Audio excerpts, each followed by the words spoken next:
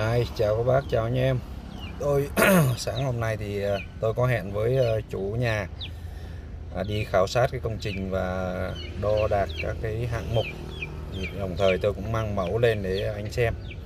Thì ờ, cái về cái khả năng để mà làm cái công trình này thì phải nói thật luôn là đến 95 98% rồi. Bây giờ chỉ còn vấn đề đó là để cho anh ấy lựa một vài cái mẫu mà tôi tư vấn thêm tức là về cái phía ấy. Còn đây là công trình chúng ta cùng tiến vào xem thì phía trong công trình thì thực sự là nó chỉ có cầu thang bếp các thứ thôi. À, hai cái sảnh trước sau. Đấy. công trình thì cũng ờ, khá là ok. Đây phần la phong thì anh em la phong làm rồi đóng cơ bản rồi chưa lên màu lên sơn gì thôi còn đây là cầu thang, cái phần chính của mình và cái phần mình ờ, để phục vụ khách. Thì đây ờ, chúng ta cùng đi lên thăm cầu thang nha đấy, cầu thang thì rất là rộng, cầu thang này mét ba, mét tư lận to bán biệt thự mà. Không có thiếu thốn gì đất, không có thiếu thốn gì ờ, vật tư cả. Cho nên là cứ đẹp là được. Cầu thang bước đi 25 bậc. Bước lên cái cầu thang muốn đuối luôn mà thực sự cầu thang này làm cái dạng cầu thang xoắn này thì làm lên nó đẹp đấy. Còn đây là cầu à, thứ hai à, lên trên lầu. Chúng ta cùng lên à, bước lên thêm mấy bước nữa xem nào. Đây. Đó, cầu thang nó đẹp lắm. Nó rộng cơ bản là cầu thang này nó rộng nó nó nó ấy. đó cái, cái chỗ này nó gãy à, gấp khúc nó hơi gãy nhìn cũng chưa mát mắt lắm. Đấy, cái khúc đây này đó cầu thang này thì ờ, phải nói thật, nếu mà làm lên thì đẹp. Tôi đảm bảo là nó sẽ đẹp, chứ không có thể nào mà không đẹp được. Đó, chúng ta cùng nhìn quay lại xuống dưới này.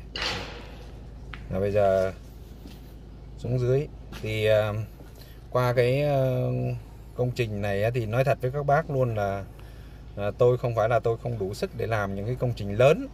Chỉ có điều đó là cái cơ hội để tiếp cận, để được làm việc, hợp tác thì nó không cao tại vì bản thân tôi, những cái công trình lớn như thế này mà đòi hỏi một cái ờ, cái độ hoàn thiện nó cao cũng như là cái giá trị sản phẩm cao, thì nói thẳng luôn là tôi phải nhận được một cái giá mà đảm bảo được thì tôi mới làm.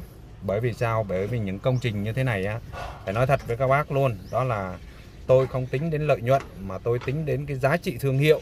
Cho nên là tôi nhận có thể là giá nó cao một xíu để tôi nắn nót cái sản phẩm của mình.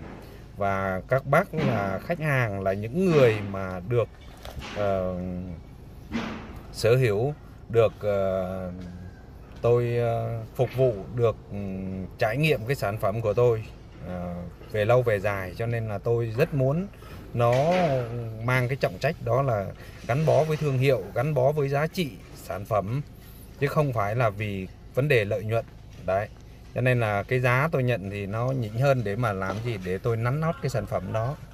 À, kể cả là làm ít làm nhiều. Nhưng mà những công trình lớn như thế này thì nó mang giá trị thương hiệu nó nhiều hơn là cái giá trị về về về về về vật chất. Đấy đây là phía sảnh đằng sau. Thì phải sảnh đằng sau nó khoảng 10 mét. Cấp nó cũng khoảng cả tầm đó. Phía đằng trước nó cũng vậy.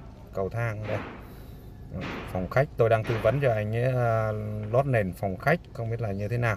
Đấy, thì à, qua cái công trình đó thì cũng chia sẻ vui với các bác thôi. Thế thôi, xin chào và hẹn gặp lại các bác. Chúc à, các bác một buổi trưa thật nhiều sức khỏe, niềm vui. Xin chào và hẹn gặp lại. Cảm ơn tất cả mọi người.